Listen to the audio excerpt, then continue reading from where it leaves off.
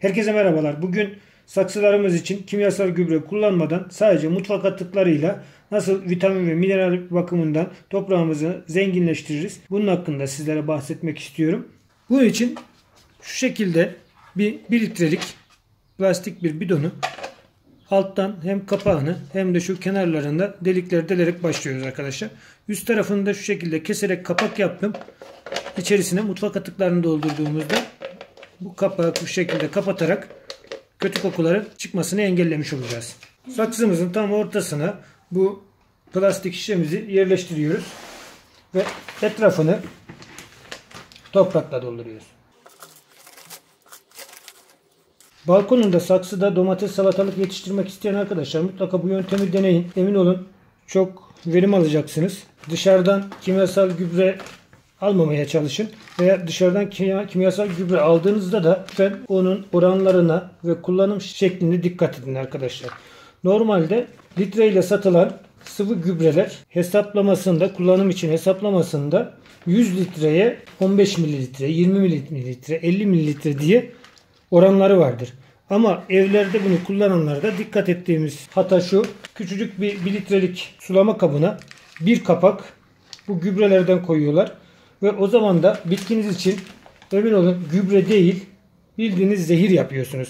Hatta bu yine çiçeklerde bir şekilde absorbe edilebilir ama bunu saksıda domatestir, salatalıktır veya yeşillikler ektiğinizde 1 litreye bir kapak ölçüsünü kullandığınızda emin olun yetiştirdiğiniz sebzeler, meyveler sizin için zehir olmaktan başka bir şey değil arkadaşlar.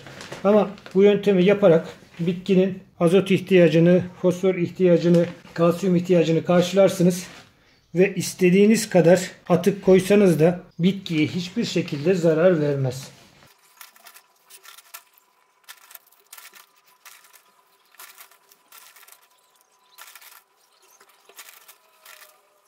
Saksımızı bu şekilde doldurduk arkadaşlar. Atıklardan da sizlere bahsedeyim.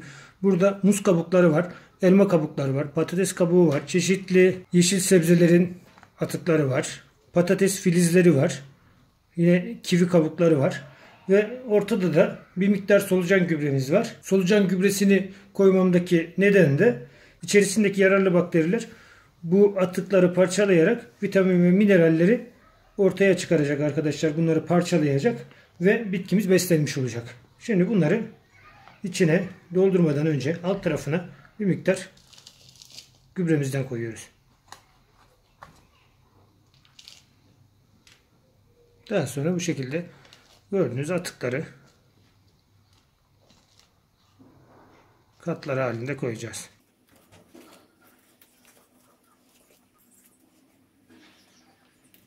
Balkonunda salatalık, domates yetiştirmeye çalışan arkadaşların en büyük sıkıntısı ilk ürünü aldıktan sonra devamı gelmemesi. Bu da şöyle bir şey. Domates veya salatalık bunlar aşırı derecede besine ihtiyaç duyan bitkiler.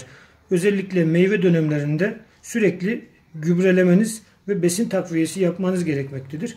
Bunun için de saksılar için bu yöntemi deneyebilirsiniz. Dışarıdan hazır kimyasal gübre almak yerine kendinizi zehirlemek yerine bu şekilde doğal ve organik bir şekilde bu işi çözebilirsiniz arkadaşlar.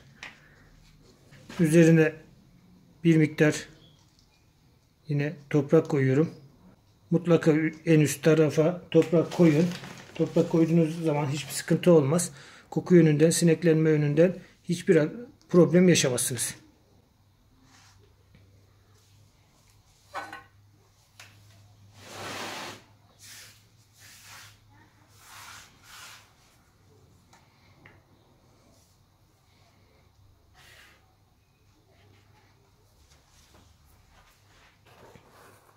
Arkadaşlar burada benim solucanlarım var.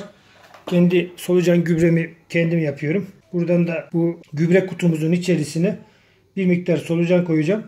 O zaman parçalanmalar daha hızlı olacak. Bitkilerimiz daha hızlı beslenmiş olacak. Siz de evinizde yaptığınızda illa solucan koymanız şart değil. Solucan koymasanız da olur. Yalnız biraz da işlem uzamış olur arkadaşlar. Solucan koyarsanız bu işlem daha hızlı bir şekilde gübreye dönüşecek ve daha hızlı bir şekilde bitkilerimiz beslenmeye başlayacak. Arkadaşlar solucanları koyduktan sonra hemen burayı sulama yapmamız gerekiyor. Solucanlarımız suyu çok severler. İçeriye doğru hareket etsinler. Bir müddet sonra bu kabın içerisindeki solucanlar içerideki besinleri tüketecektir. Bitirdiklerinde üst taraflara çıkacaklardır.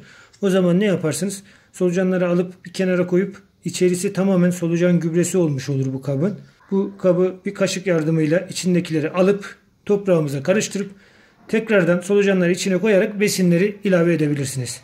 Şimdi ben bu saksıya marul ekeceğim. Buna 4 tane marul ekmeyi düşünüyorum. Şimdi kendi yetiştirdiğimiz marul fidelerinden 4 tane alalım. Bunlar fasulye ve marul fidelerim. Fidelerimiz bahçeye ekilecek kadar büyüdüler.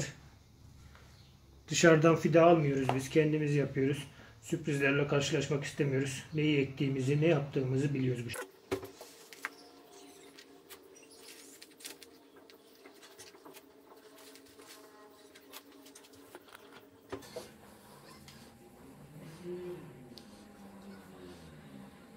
Fideleri şu taç yapraklarına kadar gömmemiz gerekiyor arkadaşlar.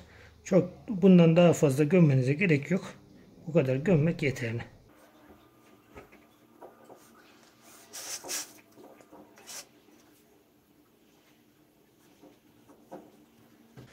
Evet ekim işlemini hallettik. Şimdi can suyumuzu veriyoruz. Sizler de bu yöntemi deneyerek bu şekilde ekim, ekim yapın arkadaşlar ve açıklamadaki Instagram adresimden bunların ileriki dönemlerde büyüme evrelerini benimle paylaşırsanız çok sevinirim, mutlu olurum. Bugünlük videoma burada son veriyorum. Yeniden görüşmek üzere. Hoşçakalın. Kendinize iyi bakın.